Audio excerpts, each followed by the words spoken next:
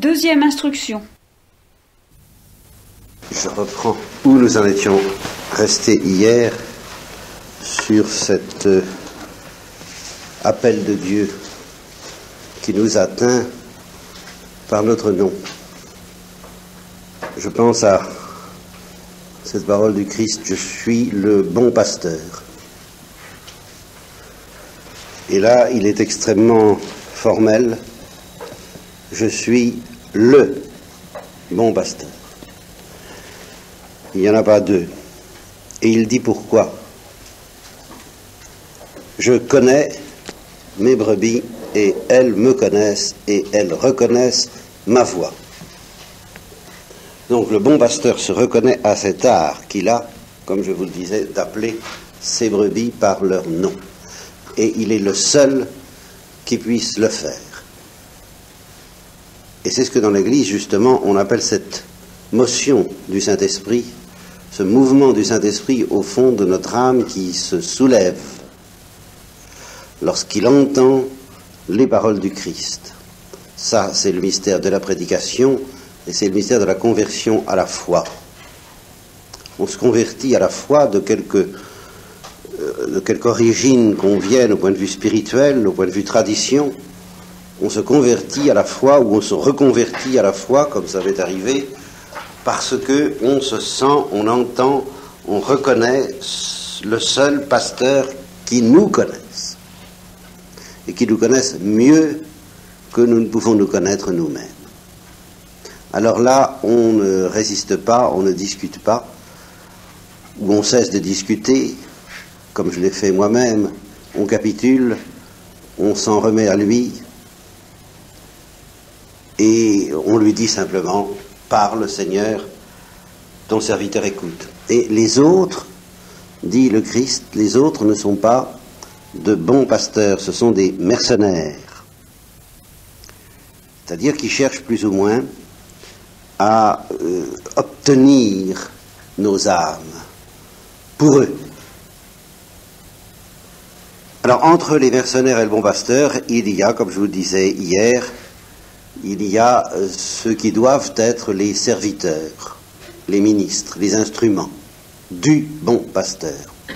Et c'est pas toujours facile, puisqu'on est toujours pris entre la tentation ben, de devenir plus ou moins mercenaire. C'est une tentation que nous pouvons tous connaître.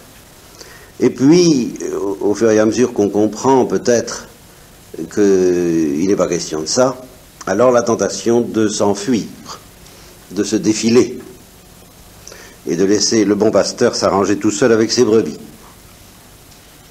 Je vous ai expliqué à quel prix vous pourrez, à travers mes paroles, euh, vous débarrasser soit du mercenaire que je peux être, soit de euh, l'individu qui a tendance à se défiler, en écoutant tout ce qui rejoindra votre nom. Ces paroles que je ne connaîtrai pas moi-même, et qui agiront en vous, comme dit Dieu, elle ne revient pas à moi, ma parole, sans avoir produit le fruit qu'elle doit produire. Vous reconnaîtrez cette parole de Dieu à cela.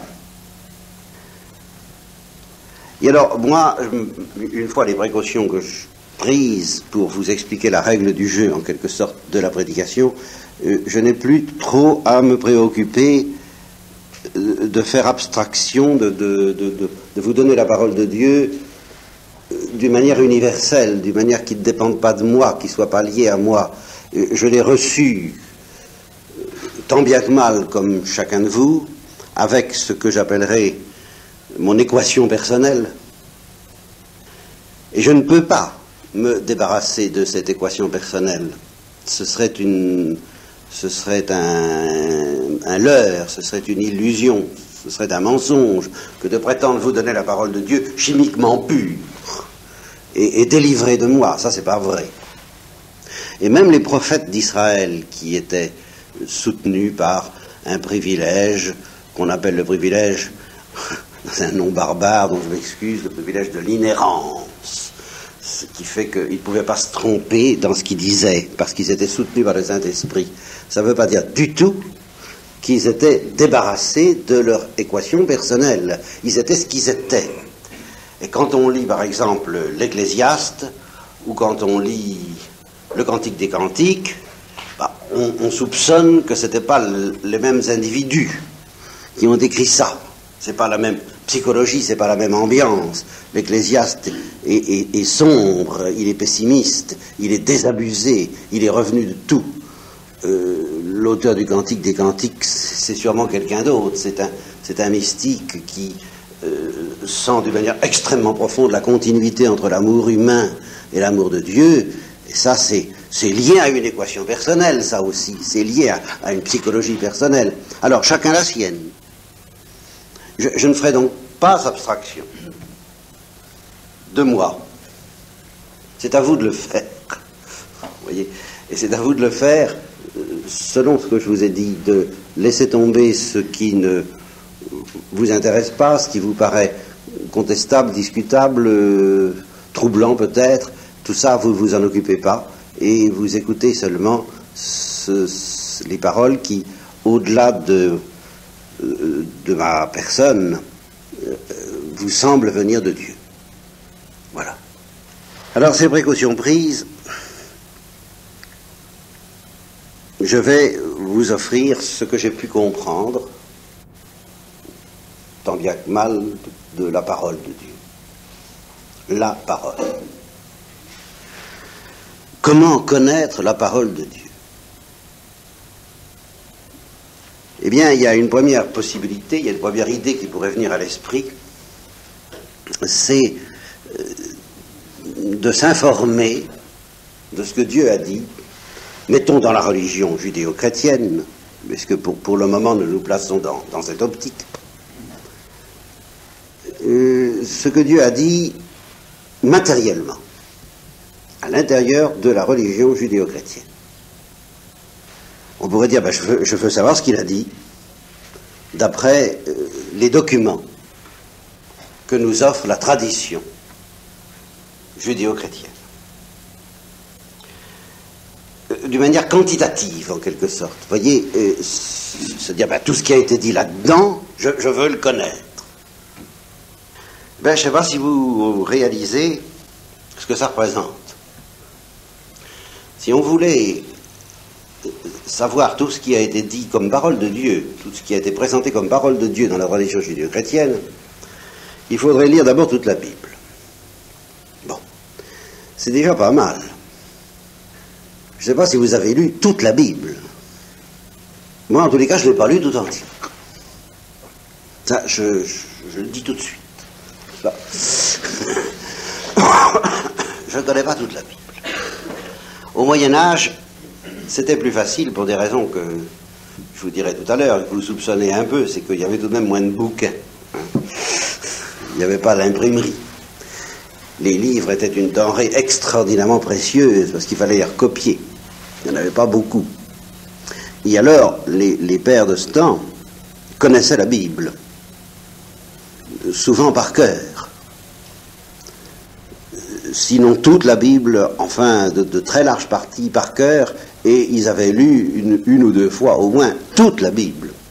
Aujourd'hui, à part les exégètes, à part les spécialistes, à part des gens qui, comme je vais vous l'expliquer tout à l'heure, euh, tout de suite, ne, connaissent pas d'autres éléments essentiels de la parole de Dieu dans la tradition judéo-chrétienne, il n'y a pas beaucoup de gens qui connaissent intégralement la Bible. Peut-être que vous faites une lecture à travers la liturgie intégrale.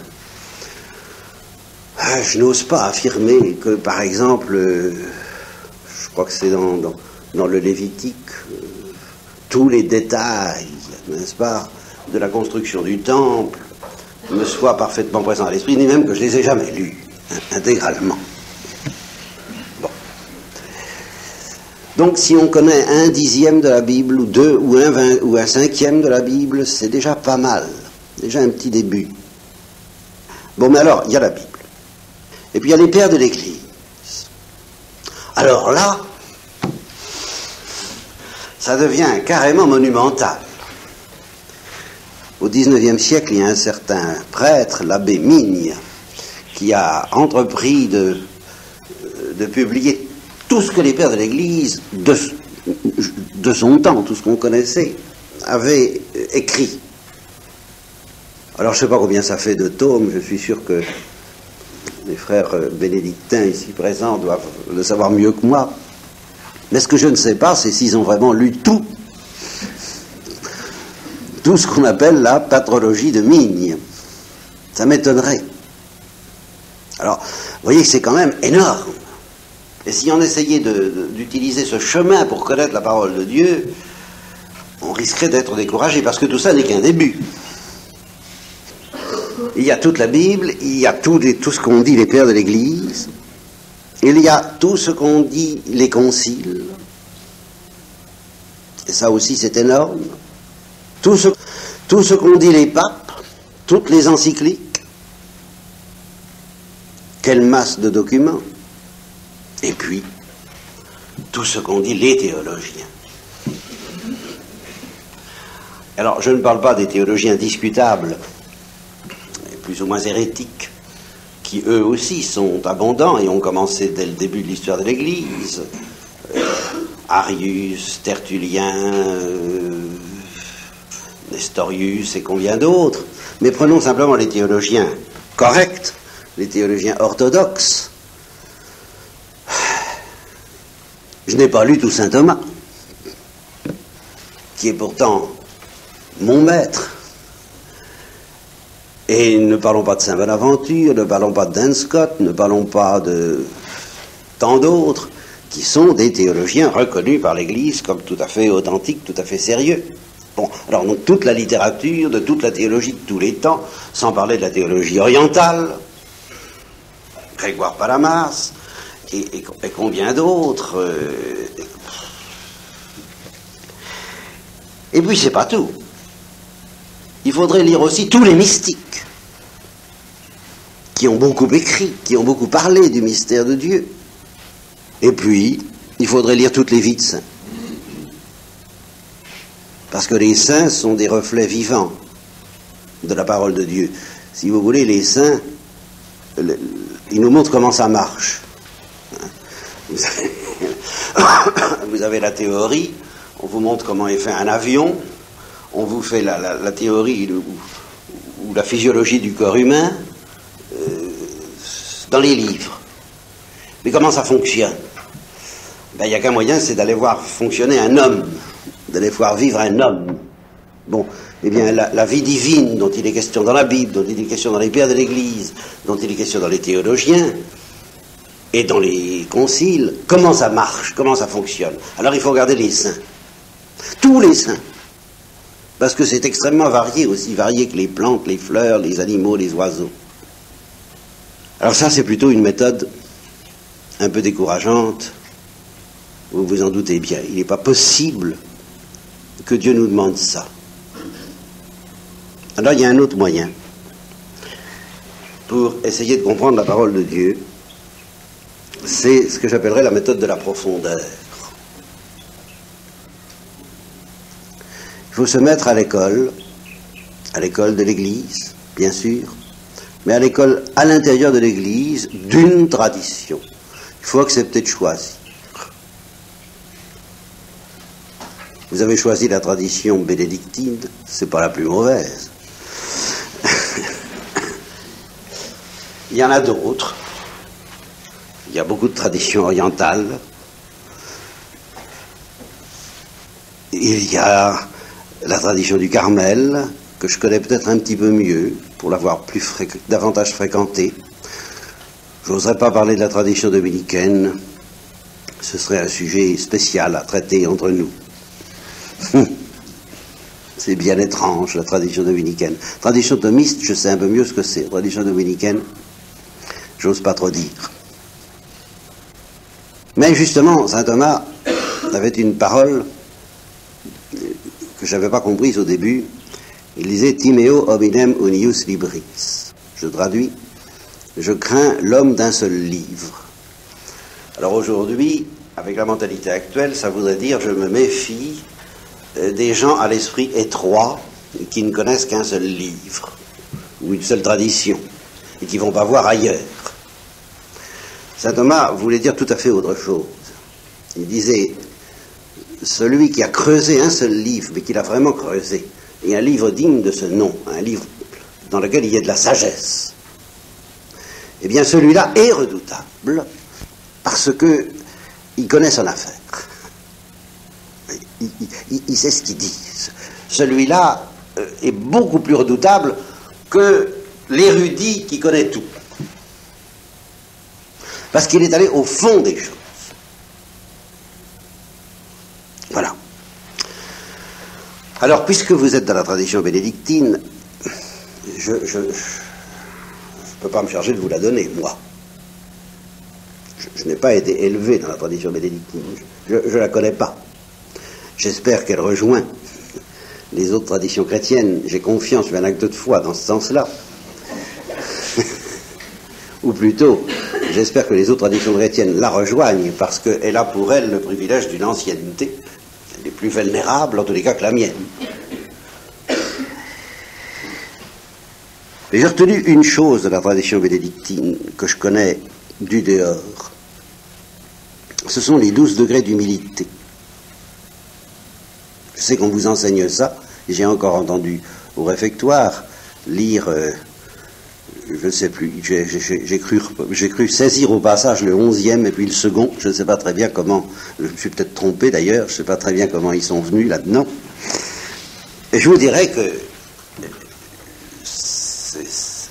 ces douze degrés d'humilité, ainsi que les textes de Saint Benoît, me font expérimenter, une fois de plus, à quel point il est impossible de s'en tirer avec les livres, justement. Si vous, si vous voulez comprendre Saint Benoît, il n'y a qu'un moyen. C'est d'avoir affaire à des bénédictins et de vous mettre à leur école. Ben, je peux plus.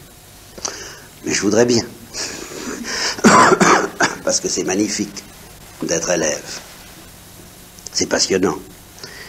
Mais justement, être élève, ça consiste à avoir le livre et puis chaque fois qu'on ne comprend pas, on peut aller voir le maître et lui dire Mais qu'est-ce que ça veut dire ça? Expliquez-moi, parce que je ne comprends pas. Et alors, le maître vous donne la tradition orale. S'il n'y a pas une tradition orale, vous ne pouvez pas comprendre. Il y, a, il y a un passage saisissant dans l'évangile, plutôt dans les actes des apôtres, de cette nécessité de la tradition orale, de ce que je vous dis là. C'est très beau. C'est l'histoire de l'eunuque d'Éthiopie, qui se promène et qui prend Philippe, lequel a été considéré en France comme le patron de l'autostop. Et alors, le, Philippe donc monte dans, le char de, l'eunuque d'Éthiopie, qui est en train de lire. Il lit. Isaïe 53. Et Philippe lui demande Est-ce que tu comprends ce que tu lis?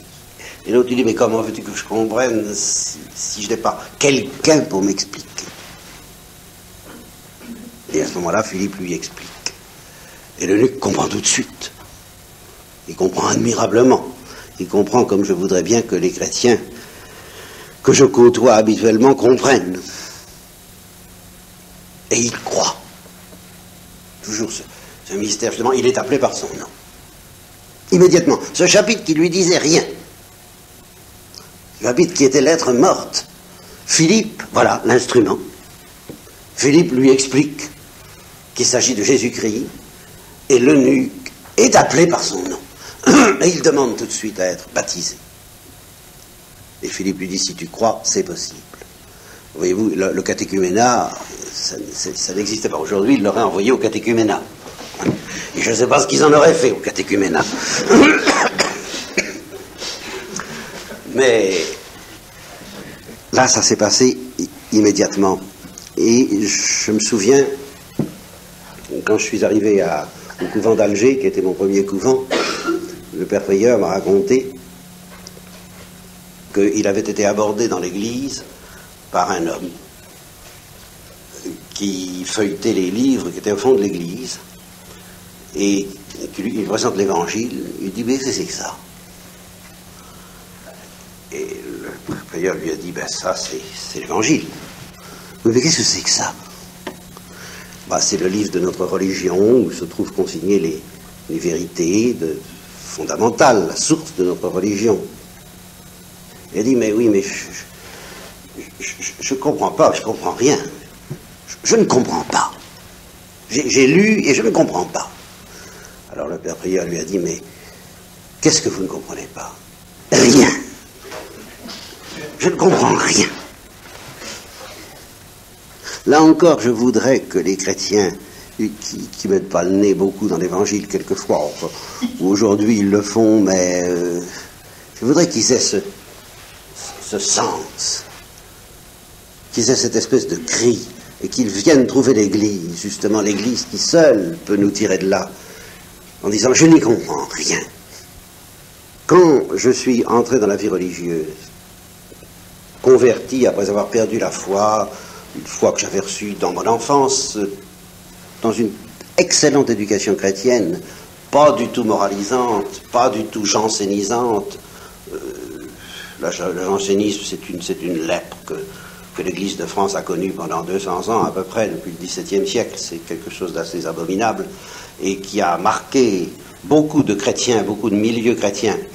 Euh, j'ai été complètement à l'abri de ça dans mon enfance. J'ai reçu une, une magnifique éducation chrétienne d'enfant où on m'a parlé, on m'a appris des choses extraordinaires, que j'ai retenues même une fois que j'ai eu perdu la foi, j'ai perdu vers 12, 13, 14 ans, eh bien j'ai été tellement marqué par ça que à, 20 ans je discutais avec un, incroyant, un roumain incroyant qui est devenu célèbre d'ailleurs, et qui est toujours incroyant, euh, qui était le fils d'un curé orthodoxe en Roumanie, et euh, il, il m'a dit un jour, oh mais plutôt c'est moi qui lui ai dit, je lui ai dit, pour fais attention, on parlait de Judas. Et je lui ai dit, mais fais attention, pour l'Église catholique, euh, Judas a commis une faute bien plus grave en désespérant qu'en trahissant Jésus-Christ. Il a dit, oh, mais c'est formidable. L'Église catholique enseigne ça, mais c'est génial. J'avais appris ça à 8 ans. Et je ne l'avais jamais oublié, parce qu'on avait beaucoup insisté là-dessus. On m'avait dit, il ne faut jamais désespérer de la miséricorde de Dieu. Et Judas lui-même n'aurait pas dû désespérer de la miséricorde de Dieu. Il a trahi Jésus-Christ, c'est très grave. Mais il a désespéré après, c'est beaucoup plus grave. Je jamais oublié. Bon. Euh, ça, c'était donc euh, l'éducation chrétienne que j'ai reçue euh, dans mon enfance. Vous, m'excuserez, je fais beaucoup de digressions et quelquefois euh, je me perds moi-même dans, mes digressions et, je ne sais plus où j'en étais. Ça fait partie de mon équation personnelle et des, et des défauts dont il faudra vous débarrasser si vous voulez entendre la parole de Dieu. Je ne sais plus à propos de quoi je vous disais ça. Je voulais vous parler de... Ah oui. Et ça. Alors, j'ai donc perdu la foi. C'est une histoire que je vous raconterai peut-être sans trop de sans vous encombrer trop tout de même de ma pauvre personne. Et puis je l'ai retrouvé à 26 ans, 25, je ne sais plus. Et en même temps, j'ai eu la vocation, ça c'est venu. J'ai été appelé par mon nom. ça, alors là, nettement. Et j'avais beaucoup, beaucoup discuté, n'est-ce pas, euh, à, propos de, de, grosses questions philosophiques. Euh, j'ai cessé de discuter à ce moment-là, parce que quand on est appelé par son nom, on n'a plus, comme on dit en termes familiers en France, on n'a plus qu'à s'écraser. Hein. Alors je me suis écrasé et je dois reconnaître que l'évangile, l'évangile me disait quelque chose. Tout de suite. L'évangile, surtout l'évangile de Saint Jean, dont je crois le Père Marie-Dominique Philippe vous, parle avec prédilection, bien je reconnais que l'évangile de Saint Jean, ça me parlait aussi tout de suite. J'étais heureux là-dedans. Mais je suis entré chez les dominicains, et alors là, ben, on m'a collé dans la liturgie, liturgie dominicaine qui ne vaut pas la vôtre, mais enfin qui en ce temps-là avait sa beauté propre et impressionnante. Et à travers la liturgie, les psaumes, et tout de même un peu la Bible. J'entendais ces textes. Et alors là, ben, je dois vous dire que moi je m'attendais, la parole de Dieu, à quelque chose d'extraordinaire, de, philosophique, de définitif, qui vous donne la lumière sur tout. Et j'avais donc un peu la réaction de ce brave homme en face alors de la Bible, Moi, en face de la Bible, j'y comprends pas grand-chose, j'y comprends rien. Ça, je ne voyais pas l'intérêt. et j'avais le sentiment aigu de ne pas comprendre. Et alors, quand j'allais quelquefois au cours d'exégèse, je peux pas dire, honnêtement, que j'avais l'impression de comprendre beaucoup plus. Ça me faisait de la peine. Même les épîtres de Saint Paul, je ne peux pas dire que je comprenais tout le temps. C'est pas facile, les épîtres de Saint Paul. Les épîtres de Saint Jean, ça va encore. On, sent la, la, musique de l'amour qui passe, mes petits-enfants. Euh, aimez-vous les uns les autres. Celui qui demeure dans l'amour est, en Dieu, et, celui qui, dit qu'il n'est pas pécheur est un menteur. Enfin, ces choses-là, c'est facile. Enfin, ça, pour moi, je comprenais facilement. Paul, c'est une autre affaire. Alors, je comprenais vraiment pas. J'ai passé des années comme ça, sans comprendre, sans bien comprendre, et avec une espèce tout de même de découragement. Et puis j'ai reçu les ordres mineurs. Il y avait l'ordre de lecteur qui donnait le, droit de lire l'épître, pas, encore l'évangile, il fallait être diacre. Mais enfin, on pouvait lire l'épître quand on avait reçu l'ordre de lecteur. L'épître, c'est-à-dire la lecture de, autre que l'évangile. Et j'avais repéré que dans la liturgie de l'ordination des lecteurs, il était dit qu'on demandait pour l'intéresser l'intelligence des Écritures. Ah, je me suis dit, ça c'est tout à fait, oh là là, c'est tout à fait ce qu'il me faut. Alors vraiment de tout mon cœur, j'ai demandé l'intelligence des Écritures. Et alors c'est, je crois, je crois que c'est venu petit à petit. J'ai entrevu des choses sur ce que c'est que la Bible. Alors je voudrais vous dire ces choses d'une manière aussi simple que possible. Ça ne pourra pas toujours être entièrement simple, parce que bah, la Bible, la révélation judéo-chrétienne, c'est une révélation. Bon, pour moi, c'est la révélation. J'ai des raisons de penser que c'est la révélation. Mais c'est en fait, historiquement, concrètement, c'est une révélation qui se situe au milieu d'autres révélations. Il y a tout de même d'autres religions que la religion chrétienne. Il y a toute une discipline dans l'histoire de l'Église, dans l'Église, qui s'appelle l'étude des religions comparées. Et c'est une étude qui m'a toujours passionné, fasciné et déçu. Je m'empresse de le dire. Comme pour l'exégèse, quand j'espérais comprendre l'écriture à l'aide de l'exégèse et que je ne comprenais pas. Les problèmes que me pose l'histoire des religions, quand je demande à des l'étude des religions comparées de, m'éclairer là-dessus, je, suis un peu déçu. ça ne me répond pas à mes questions. Il y a de multiples religions sur la terre. Ces religions, je les appellerai, si vous voulez, en gros, je distinguerai deux catégories. Il y a les religions naturelles. Il y en a une multitude. Je les appelle les religions naturelles, bien qu'elles ne soient pas naturelles. Mais enfin, ça, vous expliquerai pourquoi. Il y a des religions naturelles, et puis au milieu de ces religions naturelles, il y en a deux qui émergent, et que j'appelle, moi, hein, alors là, vraiment, c'est mon équation personnelle, hein, j'appelle les religions énigmatiques. C'est la religion hindoue et la religion musulmane. Pour moi, ce sont deux religions énigmatiques, particulièrement mystérieuses et fascinantes, l'une comme l'autre. Et puis il y a la religion juive. Mais alors là, je suis obligé de faire une distinction capitale à propos de la religion juive. Une distinction que je voudrais que vous ayez bien présente à l'esprit, parce que si on veut comprendre quelque chose justement aux religions comparées, il faut peut-être commencer par là.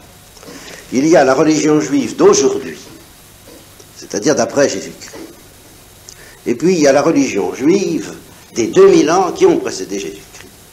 Et alors, je, m'excuse euh, auprès des juifs, n'est-ce pas, quand je les rencontre, mais c'est pas du tout pareil. Ça ne peut pas être la même chose. Non seulement parce que je suis chrétien, je dis ça, mais parce que ça se sent. La religion juive d'avant Jésus-Christ C'était la religion de gens qui étaient empoignés par quelqu'un. Et ce quelqu'un ne leur laissait pas un instant de répit. Il leur faisait la vie dure. Et il leur faisait aussi la vie tendre. Mais enfin, quelle histoire Et justement, ce que la Bible nous raconte, c'est cette histoire. La religion juive d'aujourd'hui, moi je dirais c'est une religion comme les autres. Elle soutient très bien la, comparaison avec la religion musulmane. Je vous dis, la religion hindoue, c'est encore, ah, c'est encore autre chose, la religion hindoue. Mais enfin, en particulier avec l'islam, il y a des affinités remarquables entre la religion juive d'aujourd'hui et la religion musulmane. Ça, se ressemble beaucoup à bien des égards. Évidemment, ça, ne les empêche pas de se déchirer, mais c'est une autre histoire. Ça, qui tient à la misère humaine et à ce que nous appellerons l'ivraie. L'ivraie qui n'est pas du tout absente du christianisme, puisque le Christ nous a prévenu une fois pour toutes que même dans l'Église, dans la religion chrétienne, il y avait l'ivraie et le bon grain. Bon. Mais je dirais, la religion juive d'aujourd'hui ne me paraît pas spécialement intéressante. Elle est intéressante comme toute religion, mais pas spécialement. Par contre, alors la religion juive d'avant Jésus-Christ, ça, c'est extraordinaire. Et alors, là, nous retrouvons la Bible. Et il y a d'ailleurs tout de même, dans la religion juive d'aujourd'hui, et dans le peuple d'Israël, tel qu'il s'est constitué aujourd'hui, il y a tout de même une particularité très étonnante et qui est liée justement à la Bible. Je suis allé en Israël et j'ai découvert ce que vous savez peut-être, à savoir qu'il y a 85% des, juifs du pays du peuple d'Israël, de l'État d'Israël, disons, qui n'ont pas la foi, qui n'ont pas la foi juive, et, qui n'ont pas la foi en Dieu, qui sont plus ou moins panthéistes ou, comme on dit, agnostiques, c'est-à-dire qui ne savent pas si Dieu existe ou si Dieu n'existe pas. Euh, ce sont vraiment de, bons occidentaux matérialistes, pour ça, euh, ils en valent d'autres. Mais alors ces gens-là, tout en n'ayant pas la foi, tout en étant matérialistes, fondent tout leur sentiment national et leur culture et leur éducation et leur instruction, enfin tout sur la Bible. Bah, c'est le livre qu'on apprend depuis son enfance, même dans cette nation qui n'a pas la foi. En gros, à part les juifs pieux, qui alors justement, eux, maintiennent la religion juive d'aujourd'hui. Or, quand on ouvre la Bible, mais on y trouve en permanence une condamnation du peuple juif, comme il n'en existe nulle part en dehors d'Israël même. N'est-ce pas? Il y a des. Il y a en France comme ailleurs, quoi, il y a des, un antisémitisme, il y a une, hostilité aux juifs. Mais tout ce qu'on peut dire, les, les, les, antisémites, est peu de choses à côté de ce que dit la Bible sur le peuple juif. Et ce peuple est, celui-là même qui nous présente ce livre et qui vide ce livre. Je trouve ça extraordinaire. Ouvrez, ouvrez la Bible et puis vous verrez que à tout instant, ce peuple est dénoncé, il est condamné comme un peuple à la nuque raide, comme un peuple qui lapide les prophètes. Et ça, c'est pas seulement Jésus qui le dit, c'est Moïse. C'est Moïse. Lisez le Deutéronome et vous verrez, c'est extraordinaire ce, euh, ce réquisitoire. Et, et le peuple juif encaisse ça. Et il retient ça, ça fait partie de ses livres sacrés. Et il se transmet ça de génération en génération. Ben ça, c'est pas ordinaire, vous savez. Ça prouve que pendant ce temps-là, pendant ces 2000 ans, eh bien, il était vraiment appelé par son nom. Et ça me permet de vous dire ce que j'ai mis tant de temps à comprendre au sujet de la Bible.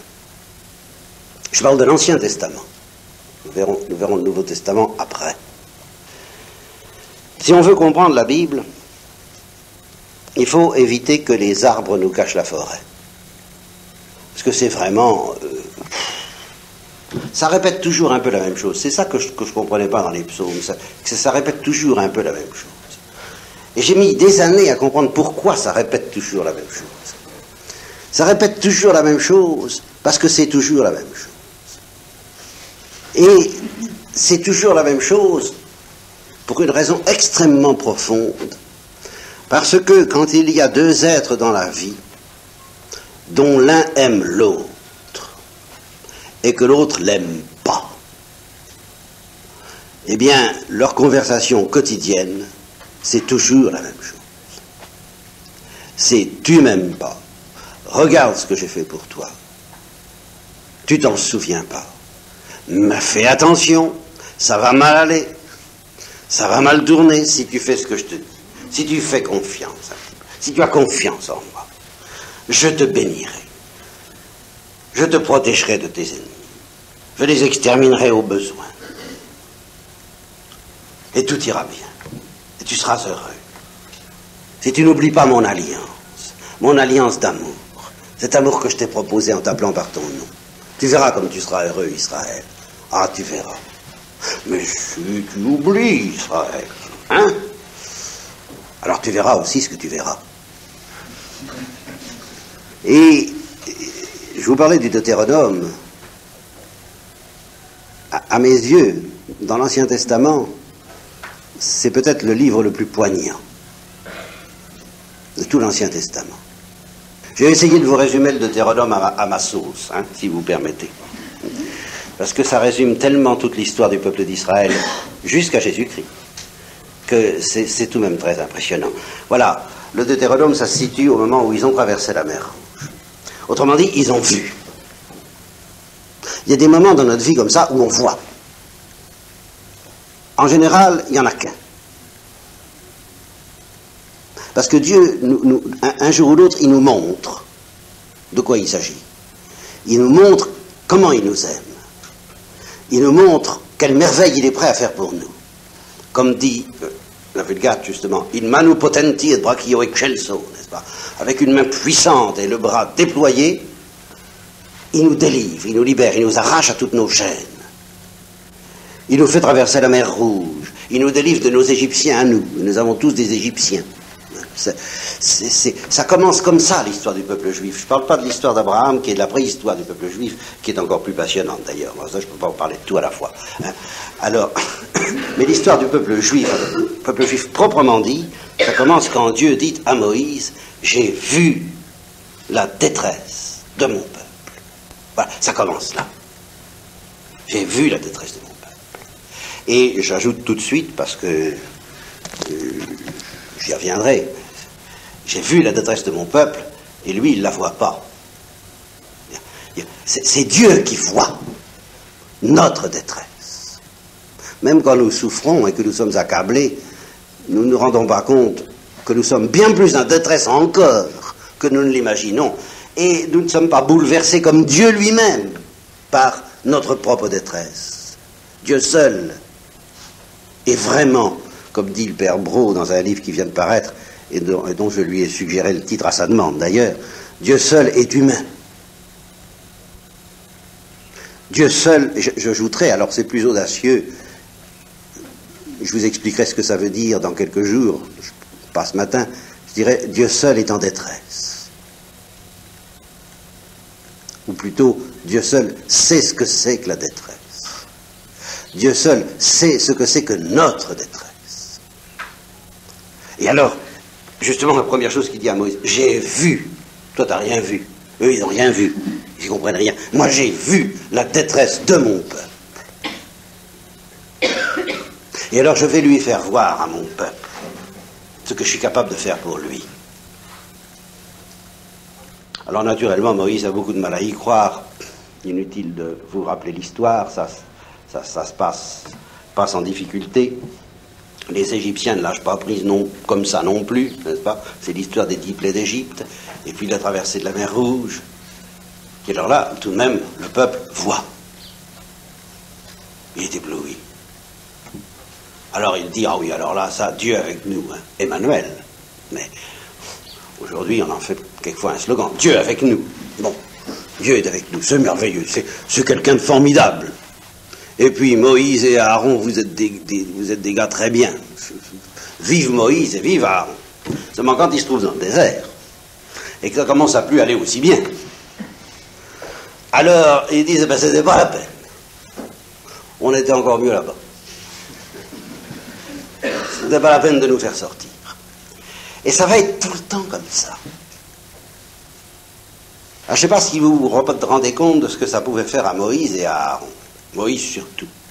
Il avait fait ça parce qu'il fallait. Mais enfin, il avait été ébloui par, le résultat, par, la bonté de Dieu et sa puissance. Et lui, il continuait quand même à y croire. Et il pensait que le peuple allait continuer à y croire. Et il a vu que sitôt que ça s'arrête, le peuple ne marche plus. Dieu ne peut pas s'arrêter un instant en leur disant Fais-moi un peu confiance, tu vois bien ce que j'ai fait, tu vois ce que j'ai fait. Quoi Alors Tu peux pas attendre cinq minutes? Pour, me faire plaisir un peu à moi aussi. Moi, je te fais plaisir, alors fais-moi plaisir. Enfin, il faut qu'on s'aime tous les deux quand même. Une alliance, c'est ça. Tu me fais un peu de crédit. Rien à faire. Mais le peuple a la nuque raide. Le peuple endurci. Ça dure pendant des années et des années. Et alors Moïse, il apprend à connaître ce que c'est que Dieu, et il apprend à connaître ce que c'est que le peuple. Le peuple élu. Et il est pris en sandwich. Vous voyez? Entre les deux. Entre Dieu et le peuple. il y a des moments où il, où n'en peut plus. Et alors à la fin, vers la fin de sa vie, alors il fait une grande séance finale un recueil de sermons qui s'appelle le Deutéronome, et je vais me permettre de vous représenter ça de la façon suivante. Il convoque tout le monde dans une salle propice pour ça, et puis il leur fait passer des diapositives. Voyez-vous? Oui. Mais lisez le Deutéronome en, pensant à ça, vous verrez que ça, c'est un peu ça. Il leur fait passer des diapositives, il tenez, vous voyez, vous vous rappelez, hein, vous, vous, rappelez ce qui s'est passé là euh, au rocher où vous avez fait, couler de l'eau. Vous vous rappelez Tenez, et puis la mer Rouge, vous voyez Vous vous rappelez tout ça Vous vous rappelez comment vous avez... Vous, vous, rappelez tout ce qui vous est arrivé Et alors justement, il leur montre par ce rappel qu'ils n'ont rien compris, qu'ils n'ont jamais cru, qu'ils se sont toujours méfiés, qu'ils ont toujours trahi, qu'ils ont toujours été infidèles. Il dit voilà ce que vous avez fait. Israël. Tu te rappelles les bons moments qu'on a eus, les moments merveilleux. Puis tu te rappelles ce que tu en as fait. Bon, ben maintenant je vais vous quitter, moi, Israël. Je vais m'en aller. Parce qu'il faut bien que je m'en aille. Parce que je vais retourner avec mes pères. Et ça me fait une peine infinie de vous quitter. Et puis, puis, puis, et puis, ça me soulage un peu. Comme le Christ lui-même a pu le dire, génération incrédule, combien de temps est-ce qu'il faudra que je sois parmi vous? J'en ai quand même un peu assez. Alors Moïse en a assez. Je vais vous quitter? Alors, une dernière fois. Je vais vous lire le code, comme on dit. C'est-à-dire, je vais vous lire la règle du jeu. Telle que Dieu a essayé de vous la faire comprendre à travers ma pauvre bouche, mes pauvres paroles et mes pauvres miracles. Voici que je place devant toi la route du bien et du mal. Voilà. Alors écoute bien une fois pour toutes. Si tu choisis la route du bien, c'est-à-dire si tu es fidèle à croire que Dieu est là, que Dieu t'aime, que Dieu te demande de respecter son alliance, tout ira bien. Tu seras béni, tu seras fécond, je te donnerai la terre promise, le pays où coule le lait et le miel. Nous reparlerons de la terre promise. Nous reparlerons de cette traversée du désert et de ce qu'il y a au bout, de cette terre promise, au bout de, cette traversée du désert et qui s'appelle la terre promise. Si tu choisis la route du bien, tu trouveras cette terre. Et si tu choisis la route du mal, alors là, bon, comme je vous l'ai dit, ce sont les, les imprécations, les invectives, les menaces, les menaces que vous trouverez tout le temps dans la Bible, tout le long de la Bible, dans la bouche des prophètes, c'est tout le temps, je vous dis, c'est toujours la même chose. J'ai cultivé une vigne je l'ai entourée, j'ai mis un mur pour la protéger, j'attendais qu'elle me donne des raisins, et qu'est-ce qu'elle m'a donné? Rien, des verjus, des fruits secs. Vous voyez, tout le temps, tout le temps, c'est ça les prophètes. Mais c'est très simple, une fois qu'on a vu ça. Une, immense scène de ménage. C'est une, immense scène d'amour d'un Dieu qui ne se plaint pas. Il leur dit pas vous allez être malheureux, il leur dit mais c'est moi qui suis malheureux. Alors moi qu'est-ce que vous faites de moi après tout ce que j'ai fait pour vous? Alors Moïse reprend ça une dernière fois. Il leur dit donc méfiez-vous si vous si n'êtes pas fidèles, gare à vous, vous verrez ce qui vous arrivera, les calamités qui vous arriveront. Je vous je vous expulserai de la terre promise, je vous enverrai en exil. Et puis alors, à un moment donné, il s'arrête. Et c'est là le moment le plus poignant du Deutéronome c'est un changement musical, un changement de clé, n'est-ce pas? Il y, a, le ton de, la menace, de l'invective et de la colère, la colère d'amour. Mais la colère, il leur dit faites attention. Hein. Bon. Et, et, puis à un moment donné, il s'arrête et il s'effondre. Et là, il ne menace plus, il prophétise parce qu'il voit. Il leur dit, puis en fait, je sais bien, vous trahirez. Mais c'est pas rose. Hein. Je sais bien que c'est comme ça que ça va se terminer. Ça va pas se terminer bien. Mais c'est même plus la peine que je menace, je sais. Ça va se terminer mal. Et cette terre promise, ben, vous n'allez pas y rester. Vous irez en exil. Et effectivement, la déportation de Babylone, et même avant la déportation de Babylone, le schisme de Salomon, et au fond même, avant le schisme de Salomon, les péchés de Salomon, les péchés du peuple juif, et, ce péché sur lequel nous viendrons de tête, toujours la même chose si nous avons le temps, ce péché tellement mystérieux et qui me donne le frisson, je vous avoue. Hein. C'est quand le peuple juif dit à Samuel, nous voulons un roi. C'est là que tout a commencé. C'est le commencement de la fin, ça. Et, Dieu prévient, il le dit à Samuel, il donne leur. Si, si, allez, refuse. Ça va. Hein. C'est pas toi qui rejette, c'est moi. Mais justement parce que c'est moi, donne-leur donne. Hein. Puis préviens-les. C'est le commencement de la fin. Et à partir de ce moment-là, c'est le glas de la religion juive. C'est le glas de la religion juive telle qu'elle a eu lieu avant Jésus-Christ. C'est la fin de cette période des fiançailles, cette période de l'amour, cette période de l'exaltation. Et heureusement, cette mort lente, cette agonie de la religion juive est traversée en même temps, alors bien entendu, mais en même temps, grâce au petit reste d'Israël, alors de la promesse et de l'espérance de cette religion qui ne sera tout de même plus la religion juive, qui sera l'explosion, l'éclatement de la religion juive, et en même temps son fruit le plus beau, ce qu'elle est destinée à donner au monde, c'est-à-dire la religion de Jésus-Christ.